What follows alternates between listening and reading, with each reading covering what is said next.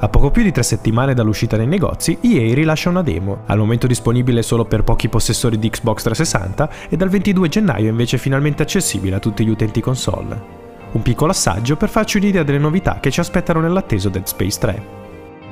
Col terzo capitolo della loro serie horror, i Visceral Games portano Isaac Clarke su un pianeta freddo ed inospitale, dove lo sfortunato eroe per caso precipita con la propria nave. Tau Volantis dimostra molto presto di essere ospite di una nuova minaccia necromorfa, con orrende creature nascoste sotto la neve. Grazie alla demo abbiamo potuto provare alcune fasi di quello che appare come uno dei capitoli iniziali, con Isaac che cerca di orientarsi sul pianeta nel bel mezzo di una bufera di neve. I movimenti sono lenti e difficili, ma pad alla mano ci sentiamo subito a casa, col sistema di controllo praticamente identico al precedente capitolo. I primi incontri con le deformità necromorfe ci costringono ad utilizzare il plasma cutter, ancora una volta fondamentale per strappare gli arti ed eliminare i nemici più rapidamente possibile. Torna anche la stasi con la quale rallentare i mostri per poi affettarli con tutta calma. Compare però un'importante novità, quale l'inserimento delle coperture, dietro le quali ci si potrà nascondere premendo semplicemente il trigger sinistro. Questa introduzione si rivela di fondamentale importanza negli scontri a fuoco, considerata l'aggiunta di nemici umani, soldati che vogliono la testa di Isaac. Ma non solo, i necromorfi potranno ora prendere possesso di questi, cambiando le dinamiche del combattimento in maniera repentina ed inaspettata. Da questo punto di vista si percepisce la sterzata verso uno spirito più action, sebbene 20 minuti di demo non permettano di capire quanto queste fasi più movimentate incidano sull'avventura totale. Un altro elemento che abbiamo potuto estrapolare da questa prova è la presenza di numerose boss fight. Già solo nelle fasi giocate abbiamo affrontato tre situazioni di questo tipo, tutte ben realizzate e divertenti. Da questo punto di vista, Dead Space 3 sa essere spettacolare come, se non di più, del diretto predecessore, grazie ad una regia davvero ben studiata. Importanti novità si fanno notare nella gestione delle armi e della tuta.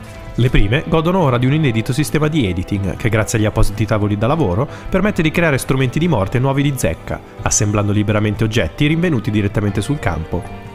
Ciò permette all'utente di applicare all'arma mirini, stasi, stabilizzatori, spari secondari e quant'altro per creare lo strumento che meglio si adatti al proprio stile di gioco.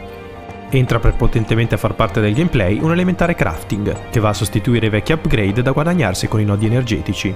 Ora ogni oggetto sarà realizzabile a partire da elementi recuperati da cadaveri e casse sparsi per i livelli.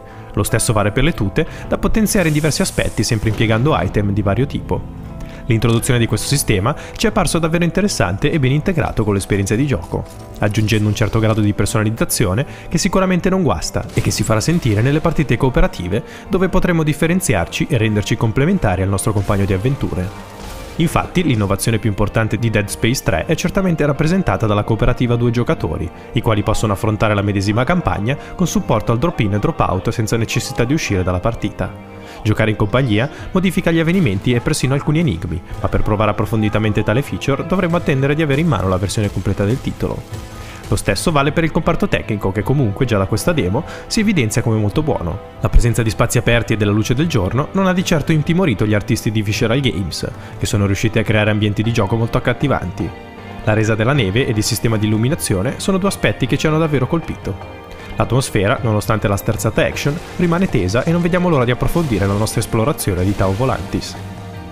In 20 minuti di gioco, Dead Space 3 riesce a dimostrare di avere in serbo importanti novità, vedi la cooperativa ed il sistema di crafting, uniti ad un'ambientazione nuova di zecca. Nonostante l'inserimento di fasi d'azione assimilabili ai classici sparatutto in terza persona, l'atmosfera che si respira su Tau Volantis è quella di sempre, dimostrando ancora una volta come Visceral Games sappia il fatto suo quando si parla di survival horror. L'8 febbraio è ormai dietro l'angolo, restate con noi per non perdervi la videorecensione dedicata a Dead Space 3. Dead Space 3 è un survival horror sviluppato da Visceral Games e distribuito da EA, disponibile dall'8 febbraio 2013 su PC, PlayStation 3 ed Xbox 360. Per articoli, soluzioni e news visitate games.it.